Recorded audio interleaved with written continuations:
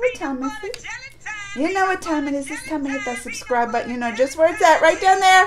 Right down there. And it's time to find my Instagram. That's Geekly Amanda. G E E K L Y Amanda. It's the same on Twitter. Make sure to follow me there too. And it's time to get this ratchet video started.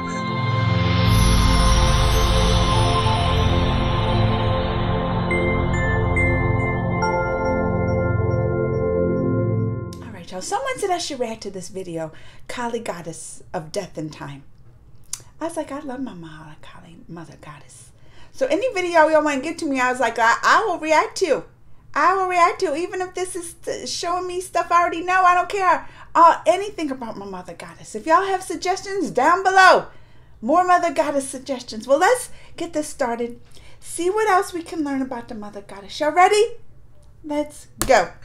Kali is a Hindu goddess of Indian and Puranic origin. She was worshipped from um, roughly about 400 Common Era, but may have been worshipped many, many thousands of years prior to that. Her name is synonymous with the goddess Durga, and she may be a direct reference to that goddess herself. Her cult centers were chiefly in Bengal, and you can find her in art references as well as literary sources, specifically the Ramayana epic and various other Puranic texts. Kali is the most terrible and malignant aspect of the goddess Sakti. and she's seen as an aspect of the goddess of destruction. She is a oh, central well, figure mean, of the Sakti cult in Bengal, and her consort is generally depicted to be Siva, who she aids and abets in some very malicious type of activities. In her earliest personification, she may have been seen as purely an evil spirit, and she is often depicted with long, ragged hair, fang like teeth, or tusks, with lips that are either smeared or dripping with fresh blood. Well, that's because she has claw-like hands, long nails. Her tongue often protrudes. She has no special weapon, but is often seen dancing on the prostrate Shiva she possesses she ten or sometimes eight arms and is often seen wearing a necklace of skulls, a belt of severed arms, earrings of children's corpses, oh, and snakes as bracelets. Often she is half naked. Kali is depicted wading through gore on the battlefield and drinking the blood of her victims. Frequently, she holds the head of one in her hands and a large sword in another. I didn't know she had this necklace. At cremation site, she sits upon the body of the deceased, surrounded by attendant jackals. And there seems to also be a slightly more benign aspect of Kali. She also slaughters demons at our benefit, and, and sometimes She's her hands are seen raised in blessings. The conflict of her personality follows a widely held notion that out of destruction comes rebirth, and thus she is incredibly important as a deity that destroys, and from that oh, destruction, new life is Lord Shiva, the destroyer. Kali is the goddess of death, time, and doomsday, and is often associated with sexuality and violence. But she is also considered a strong mother figure and symbolically of motherly love. She embodies Sakti, which is female energy, creativity, and fertility, and is seen as the incarnation of Parvati, who was the wife of the great Hindu god Shiva. And she is always depicted in the most fearsome representation of herself. Her name translates to she who is death, and as the embodiment of time, Kali devours all things, and she is irresistibly attractive to mortals and gods and can represent the benevolence of a mother goddess. So there's a great duality in what she represents.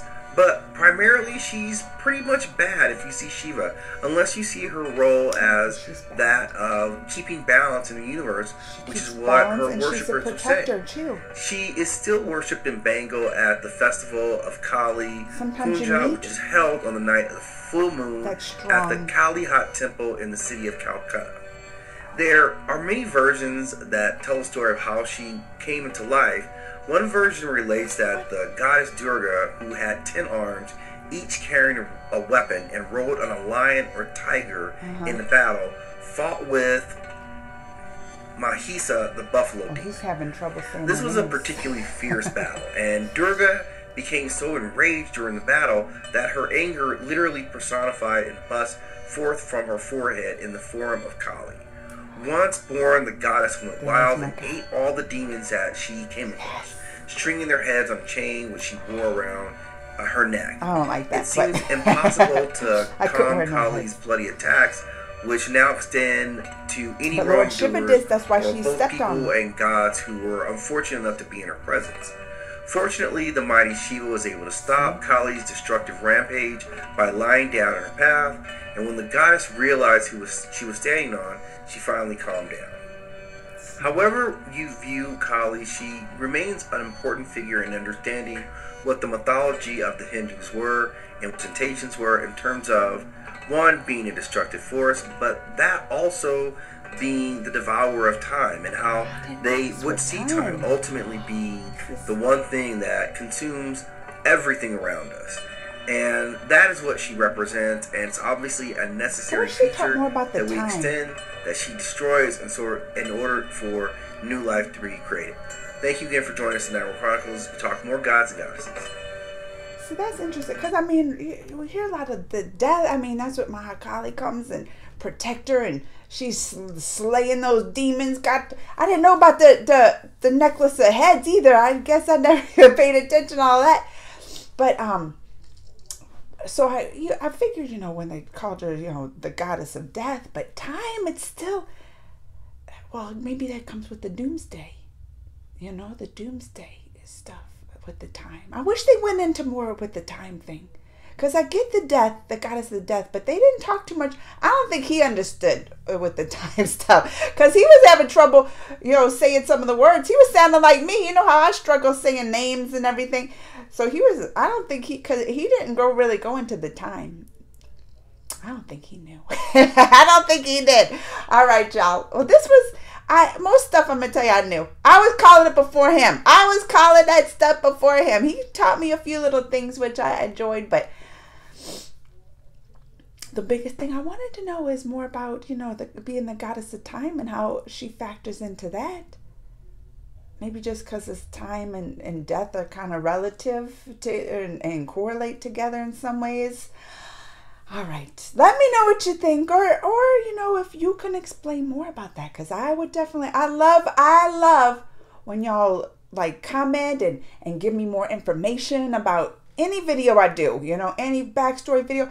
And like just the other day someone commented and um on the Mahabharat reaction that I did and told me more about you know, uh, it was the scene with the disrobing and Krishna, and, and they told me, you know, when that scene was filmed, you know, more details about it, which that's what I'm saying. And other subscribers like, thanks for telling me that. I didn't know. So like we all learn. We all learn from the comments. And I tell you, I read them.